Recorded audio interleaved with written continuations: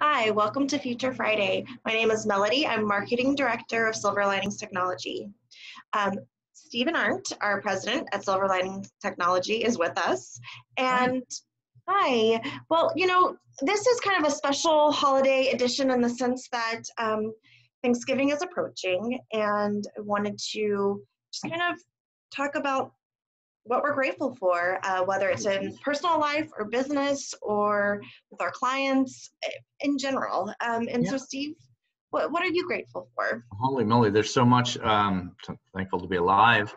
Um, we have wonderful clients and customers, very excited for that. And I'm thankful that they trust us to advise them and to help them um, to keep their business running. Um, very thankful for that. Thankful for the industries that we serve, um, how they also help people. And uh, I know that um, maybe it's just a little bit, but uh, through our clients, we're making a difference in many people's lives and, and very thankful for that.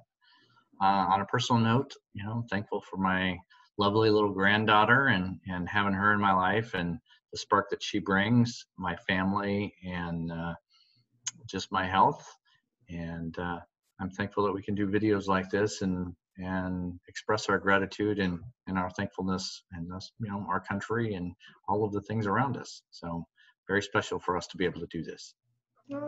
Well, thank you for sharing. And to all of you guys out there, I hope you have a wonderful, happy Thanksgiving. Enjoy friends, family, whoever you are um, with, and, and cherish the moment.